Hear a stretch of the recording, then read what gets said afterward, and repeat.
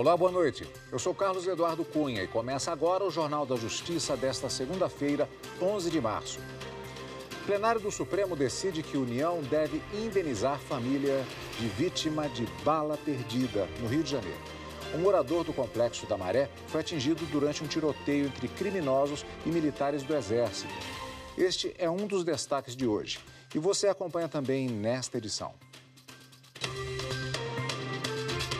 STF valida fim da isenção ao petróleo na Zona Franca de Manaus. Supremo mantém decisão que autoriza obras de porto em Maricá, no Rio de Janeiro. E ainda, pesquisa da AGU vai traçar um panorama do funcionamento da advocacia pública em todo o país.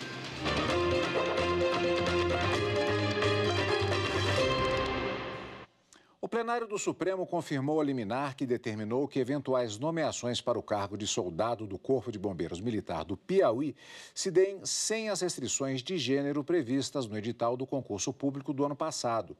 Em outra ação sobre o mesmo tema, foi confirmada a homologação de acordo que autorizou a continuação de concursos para a Polícia Militar e o Corpo de Bombeiros Militar de Mato Grosso, também sem restrições de gênero. As decisões foram tomadas em sessão virtual nos julgamentos de duas ações diretas de inconstitucionalidade de autoria da Procuradoria-Geral da República. E o Supremo decidiu que a União deve indenizar a família de uma vítima de bala perdida. O caso ocorreu em 2015 no Complexo da Maré, no Rio de Janeiro, durante um tiroteio envolvendo militares do Exército. Evne Araújo tem os detalhes. O caso foi julgado pelo plenário virtual. A maioria dos ministros entendeu que a União deve ser responsabilizada pela morte do morador do Complexo da Maré, na zona norte do Rio. Ele foi vítima de uma bala perdida durante um tiroteio entre criminosos e o Exército. Segundo o ministro Edson Fachin, relator do recurso, os militares assumiram o risco ao realizar a operação policial. Para Faquim, a responsabilidade da União está configurada mesmo diante da inconclusão da perícia quanto à origem do projétil, uma vez que os integrantes da Força de Pacificação do Exército assumiram risco ao proceder uma operação em local habitado, desencadeando intensa troca de tiros. O ministro também votou pela responsabilidade do Estado do Rio de Janeiro no caso. Segundo o relator, o Estado é responsável pelos danos causados a terceiros quando há troca de tiros entre policiais e criminosos, sempre que não for capaz de comprovar a existência de outra causa apta a produzir o dano.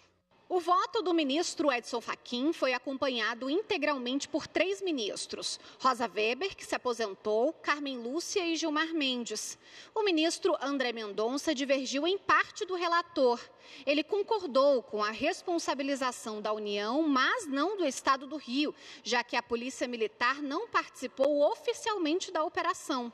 Esse posicionamento foi seguido pelos ministros Dias Toffoli, Nunes Marques e Luiz Fux. Já para o ministro Cristiano Zanin, a perícia inconclusiva não é suficiente para afastar a responsabilidade civil do Estado. O presidente do STF, Luiz Roberto Barroso, seguiu esse entendimento. Diante disso, os ministros não chegaram a uma maioria na definição de uma tese, já que o caso tem repercussão geral e o entendimento vai ser aplicado em casos semelhantes que tramitam na Justiça. Essa tese vai ser definida em uma sessão presencial, mas ainda não foi marcada. O ministro Flávio Dino, do Supremo, autorizou a continuidade das obras do porto de Jaconé, em Maricá, no estado do Rio de Janeiro. Quem tem as informações é a repórter Viviane Novaes. Este é o projeto do terminal portuário de Ponta Negra, conhecido como Porto de Jaconé. Uma obra de 2 bilhões e meio de reais para fazer o escoamento e tancagem do óleo do pré-sal produzido na região de Maricá, no Rio de Janeiro. Em 2019, o Ministério Público Federal entrou com uma ação civil pública na Justiça pedindo a suspensão do empreendimento. O MPF alegou que a continuidade do projeto poderia comprometer arenitos rochosos na praia de Jaconé. A primeira instância da Justiça Federal permitiu a obra, mas estabeleceu uma série de condições para a licença de instalação. Depois, isso foi mantido pelo Tribunal Regional Federal da Segunda Região, o TRF2. O MPF decidiu recorrer ao Supremo Tribunal Federal e pediu a interrupção das obras. Uma das alegações era que a decisão do TRF2 violaria o dever constitucional de manter o meio ambiente ecologicamente equilibrado. Mas o relator do caso negou o pedido. Segundo o ministro Flávio Dino, o questionamento no STF é contra a decisão do TRF2, que analisou uma liminar em ação civil pública. Na decisão, o relator afirmou: a jurisprudência desta Suprema Corte é pacífica, no sentido de que não cabe recurso extraordinário contra acórdão que defere medida liminar. Flávio Dino também destacou Verifica-se que o Tribunal de Origem, o TRF2, decidiu a controvérsia com fundamento no conjunto fático probatório dos autos, cuja análise ou reexame se revelam inviáveis em sede de recurso extraordinário. De acordo com o ministro, o TRF2 considerou que os órgãos públicos responsáveis pela fiscalização da obra do Porto de Jaconé estão adotando as medidas necessárias para a proteção ambiental inclusive citando o parecer elaborado por técnicos do Instituto Estadual do Ambiente, que declaram que não existem arenitos rochosos na área. O Supremo Tribunal Federal validou a lei que exclui as operações com petróleo e derivados do regime fiscal da Zona Franca de Manaus. Com isso, será mantida a incidência do imposto de importação e do imposto sobre produtos industrializados sobre operações com esses produtos. Marta Ferreira. O questionamento foi feito pelo Partido Cidadania, que era contra a exclusão. Isso porque a Zona Franca de Manaus tem um regime de benefícios e incentivos fiscais de incentivo ao desenvolvimento regional. Só que em 2021, a Lei 14.183 definiu que o regime não se aplica às exportações, importações e operações feitas dentro do território nacional com petróleo, lubrificantes, combustíveis líquidos e gasosos derivados de petróleo por empresas localizadas na Zona Franca. A norma alterou um decreto-lei de 1967. Em julgamento no plenário virtual, a maioria dos ministros acompanhou o voto do relator, o ministro Luiz Roberto Barroso, que negou o pedido do partido e validou a exclusão da isenção de tributos para esses produtos. Relator entendeu que os incentivos previstos no Decreto-Lei de 1967, que não incluem bens do setor de combustíveis, estão de acordo com a Constituição de 88. Isso porque, na data da promulgação, já existiam leis que favoreciam as operações com petróleo e derivados. Por isso, o benefício não poderia ser excluído por lei ordinária. O ministro Cristiano Zanin, do STF, invalidou o vínculo de emprego entre uma advogada em um escritório no Rio de Janeiro. Na decisão, Zanin destacou que a terceirização de advogados é prevista no estatuto da categoria. Repórter Pablo Lemos. O escritório de advocacia recorreu ao STF contra a decisão do Tribunal Regional do Trabalho da Primeira Região, no Rio de Janeiro, que havia reconhecido o vínculo empregatício. De acordo com a empresa, o TRT se baseou em informações sobre um suposto contrato com a advogada para burlar direitos trabalhistas e que o escritório sempre prestou papel de empregador, entre outros argumentos. O relator do caso no Supremo Tribunal Federal, ministro Cristiano Zanin, destacou que a Justiça do Trabalho, ao reconhecer o vínculo, desconsiderou aspectos jurídicos relacionados à questão em especial os preceitos do Supremo que consagram a liberdade econômica e de organização das atividades produtivas. Em decisões semelhantes, o STF entendeu pela possibilidade da terceirização de qualquer atividade e que a proteção constitucional ao trabalho não impõe que toda e qualquer prestação remunerada configure relação de emprego.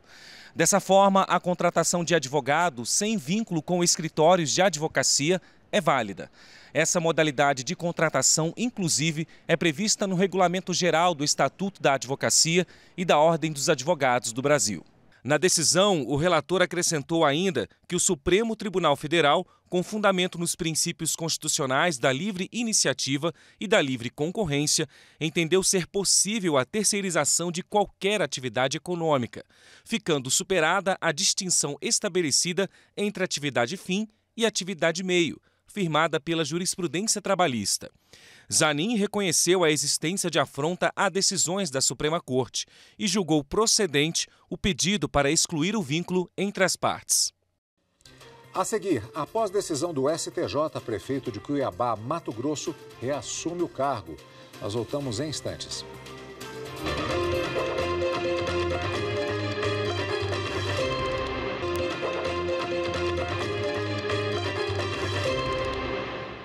Emanuel Pinheiro, prefeito de Cuiabá, reassumiu o cargo nesta segunda-feira.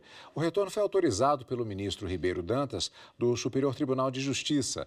As informações com Cátia Gomes.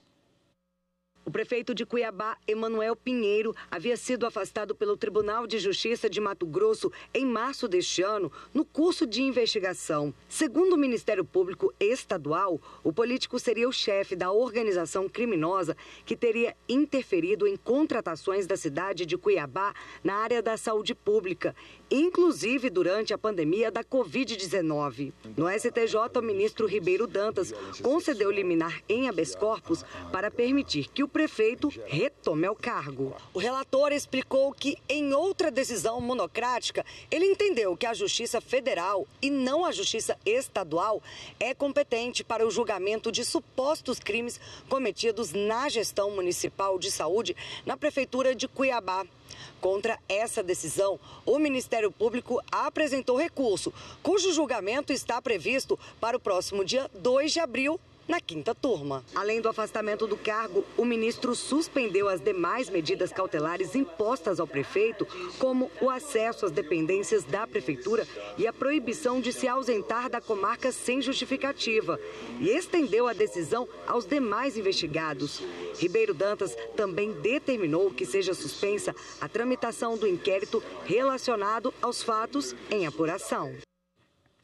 A Advocacia Geral da União lançou uma pesquisa que vai traçar um panorama do funcionamento da advocacia pública em todo o país. Repórter Rafael Braga. O levantamento será feito em parceria com o Colégio Nacional de Procuradores Gerais dos Estados e do Distrito Federal e a Associação Nacional das Procuradoras e dos Procuradores Municipais, com auxílio do Programa das Nações Unidas para o Desenvolvimento, o PNUD. O lançamento aconteceu neste evento, realizado na sede da Procuradoria-Geral de Justiça de São Paulo, no dia 7 de março, que foi o Dia Nacional da Advocacia Pública. A pesquisa abrangerá 57 procuradorias dos estados e das capitais, onde serão avaliados aspectos como estrutura física, situação orçamentária, governança, uso de ferramentas tecnológicas, recursos humanos, além da própria atuação dos advogados públicos. Com a Pesquisa Nacional da Advocacia Pública, será possível identificar também a necessidade de capacitação de servidores, de aprimoramento dos processos internos e de investimento na transformação digital.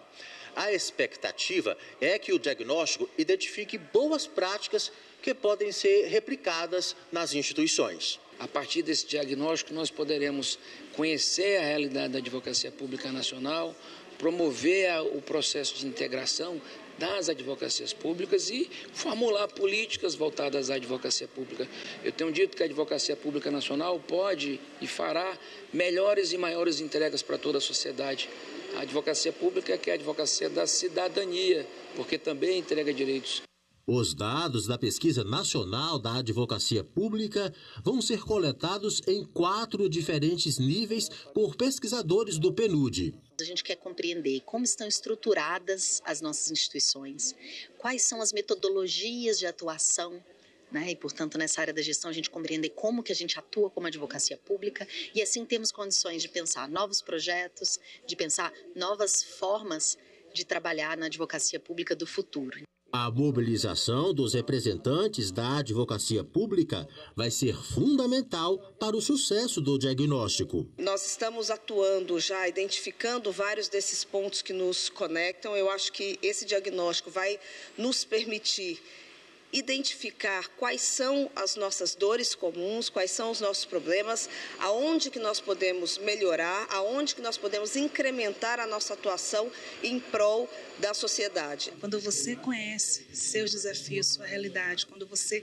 olha isso de forma conectada também com as procuradorias do Estado e com a Advocacia Geral da União, você tem a possibilidade de potencializar né, essa efetividade de transformação social do nosso país. Tribunal Regional do Trabalho da Bahia homologou um acordo de abrangência nacional entre os Correios e o Ministério Público do Trabalho no Estado. O objetivo é criar políticas de prevenção ao assédio moral e sexual e discriminações por gênero e raça. Confira na reportagem de Carolina Vasco. Em sua fala, o presidente do regional, desembargador Jefferson Murici, disse que os termos do acordo são tão relevantes que servirão de guia para as políticas de combate à prática dentro do próprio tribunal. Ele também destacou a relevância de ser um acordo. É fundamental acabar, da, talvez, da forma mais desejável possível, que é pelo acordo entre as partes, as próprias partes, claro, com a intermediação do tribunal e do Ministério Público, encontrando aquela que é a melhor solução para, um problema, para problemas que são estruturais e graves e muito caros a estas instituições e aos trabalhadores. A ação civil pública, iniciada em 2020, teve origem após denúncias ao MPT em 2014 e a confirmação da prática por gestores da empresa em todo o país. O procurador do órgão, Ilan Fonseca, fala do resultado. Uma possibilidade que os Correios têm agora é de capacitar sua equipe, de criar fluxos de atendimento, de proteger e acolher as vítimas, de ter um canal de denúncias e principalmente de é, punir e disciplinar os seus gestores para que esse tipo de conduta não se repita. Faz com que, de fato, a gente mande esse recado, não só para dentro dos Correios, como também para outra organização e para a própria sociedade. O assédio não pode ser admitido dentro das organizações, porque isso se trata do maior ativo. É, é, das organizações, sobretudo Correios, que são as pessoas. Responsável pelas audiências, algumas com duração de quatro horas, o juiz Paulo Temporal, da 16ª Vara do Trabalho de Salvador, explica que o pedido do Ministério Público era ambicioso, por não se tratar apenas do cumprimento da lei. O principal é a mudança de conduta da empresa com relação à questão da política de combate ao assédio moral e, mais importante ainda, porque acredite, eles conseguiram extrapolar o objeto da ação, porque também no acordo incluíram o combate à discriminação de gênero e de raça, coisa que não fazia parte do pedido. Como é um acordo judicial, a empresa pode até mudar de direção, mas não vai poder revogar o que foi feito aqui hoje. Isso é que é mais importante, porque um acordo judicial ele se sobrepõe à mudança de direção da empresa. O acordo homologado encerra a ação. E a empresa também deverá pagar um milhão e meio de reais como compensação à sociedade. Este valor será destinado a instituições sem fins lucrativos a serem definidas pelo MPT. STF julga suspensão de decisões judiciais que determinaram a penhora de bens da Companhia de Saneamento do Pará. Assunto para o próximo bloco. Até já.